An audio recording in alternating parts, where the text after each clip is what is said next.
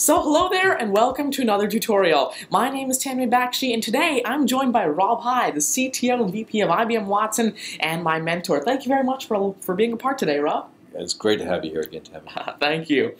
So today we're going to be talking about the Watson Studio and more specifically how it relates to the call for code and how you can build analytics, AI-powered solutions that enable you to impact the field of disaster preparedness so you can help out those who are being affected by natural disasters using the power of, of the Watson Studio. So the Watson Studio, Rob, would you like to just give us a quick brief on really what that is and what it allows us to do?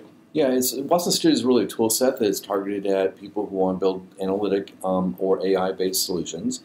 Uh, it includes a number of sub-tools, including Jupyter Notebooks, yes. including our uh, the deep learning uh, visual construction tooling, Mm-hmm. um, access to our knowledge uh, catalogs, Yes. uh, the ability to both uh, gain access to and publish, as well as um, to curate some of the data that you bring Exactly. on board.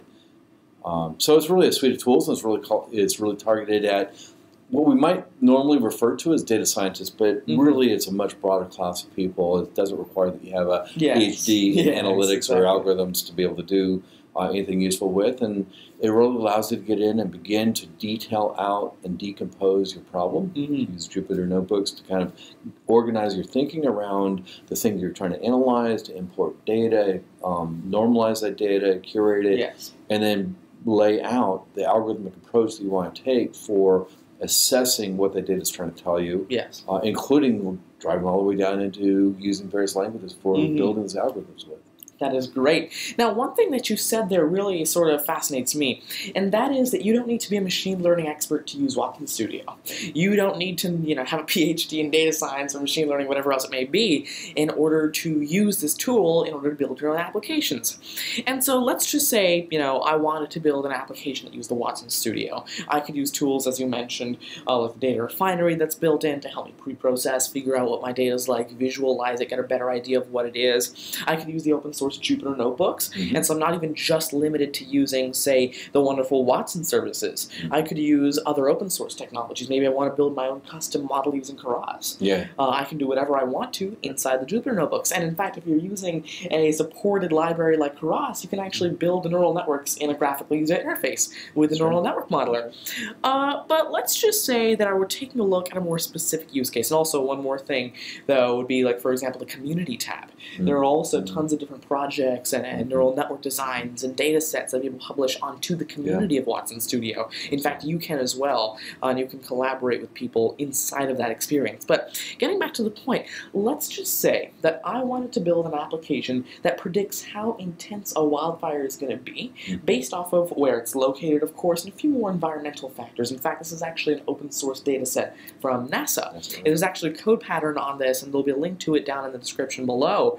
Uh, but let's just say that I was working towards this use case, and I wanted to use the Watson Studio to build a custom machine learning model suited just for my needs. Could you kind of walk us through how you would do that, Mhm. um, and what kinds of tools you'd use, and what you'd use them for? Yeah, well, let's start with the data.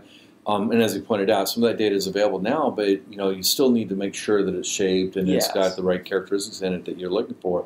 There may be some aspects of the data that you care about, some that you don't care about. There may be other data that you want to bring in, um, and so first step is is to walk through and, and what I think of as being a curation process. A lot of that is about just simply making sure the data is in the mm-hmm. shape that you want it to be in. So that'd be step one. Now, once you've got the data ingested, step two is to begin to understand what your objective is. What is it that you're trying to get from this data? In the case of disaster preparedness, maybe what you're trying to do is identify where the the fire is likely to Yes. progress given the data that you've got available to you. Or it could be, you know, where you want equipment. You know, Mhm. how are you going to manage and prepare for um, this disaster as it unfolds? If you got uh, any advanced warning that may be coming up to the, the potential, maybe it's a maybe it's a, uh, a hurricane or a Yeah. storm that you know is coming in, or or unfortunately in, in some cases it may be something that's already happened. Mhm. But in either case, you know, managers and people who are involved with managing a disaster situation, Mhm. you know, need to be able to think about where they're going to place this equipment and Yes. and uh, where it's going to be best used, what the needs are, and so forth. So if that's part of what you're trying to do, then of course having that objective in mind, you can begin to work backwards and decompose how would you go about predicting for the things you need to predict. You know, we talked about one, you know, where what you want to be able to do is identify um,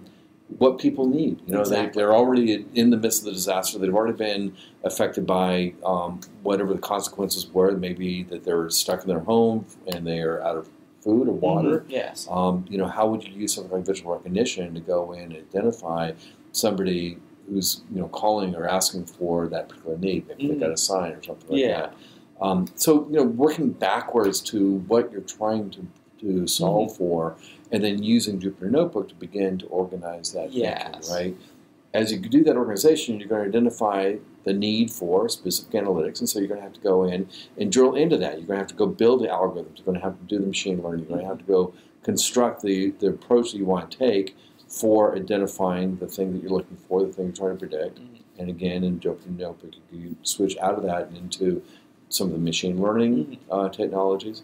You may come into it knowing that you've got a set of libraries that you've already been playing with. Maybe you're Mhm. familiar with one of the open source projects around TensorFlow or around uh, Caffe or, as you say, Keras or one of these others. Uh, PyTorch is getting increasingly popular. Yes. Yes. Um, so you know you can import um, those libraries and, and kernels and make use of them within within the Jupyter Notebook. If you're building a complex model, like a deep learning model, um, you may want to go and use one of our visual tools for uh, tool for deep learning construction, Mhm. and uh, you know that's really nice because you can use it to parameterize the different layers of Yes. the deep learning model. You can resequence the, the pooling and Mhm. various techniques that you to apply in the construction of your model. Yes. And then, of course, you know, you're going to then use that in the context of that data to see what kinds of results you're able to produce. Absolutely. Eventually, you may decide that what we've got is a really well-formed set of analytic, and you want to take the algorithms that you've constructed and now export them for production use. In which Mm. case, you now turn this into um, running code and into services with an API that you want to publish somewhere on the cloud, perhaps, and uh, make use of that within your application. Mhm. That is great. Thank you very much, Rob, for giving me that uh, overview as to how you go about using the Watson Studio. So, as you can tell, the Watson Studio is really a tool for you to go in and build your own analytic or machine learning applications without you having to be an expert in this field. And at the same time, you can make use of practically any library you want to. You can use all the open source tools that you know and love. And if you're an expert, you can go really deep inside of your data. You can reshape it. You can take a look at what's important. You can find patterns, even yourself, that you wouldn't have noticed without the Watson Studio and all of the tools that it provides. But thank you very much, Rob, for giving us that detailed overview. Now, though, in part two, you're going to be seeing a live demo of how you can actually use the Watson Studio in order to take a custom data set and actually understand it inside and out using a, a bunch of the different tools that the Watson Studio provides. So, again, thank you very much, Rob, for joining in today. And that's what we had. Thank you, guys. Of course, thank you very much, Rob. Glad to have you on uh, on the channel here at Astor Place. And of course, thank you very much, everyone, for joining in today. Uh, that's what I had for this tutorial today. Really do hope you enjoyed. Apart from that, if you do have any questions, suggestions, or feedback, you can email uh, or contact either I or Rob. So, Rob, how can how can viewers contact you? I'm on LinkedIn under uh, Ro- Robert High and uh, on Twitter at uh, R High, R H I G H. That's perfect. I'll put your contact down in the description below so that you can go ahead and contact Rob if you'd like to. Uh, and you can, of course, contact me. My email and Twitter will be in the description as well. But if you have any more questions, please do leave them in the comments down below, and Rob and I would love to get back to you. Again, thank you very much, everyone, for joining in today. Uh, that's going to be all for this tutorial. If you do enjoy the content on the channel, please do make sure to subscribe. And if you'd like to be notified whenever we release new videos, please do click the bell icon, and you'll receive an email every time I upload a new video. Again, thank you very much, Rob, for joining in. Bye bye. Bye now.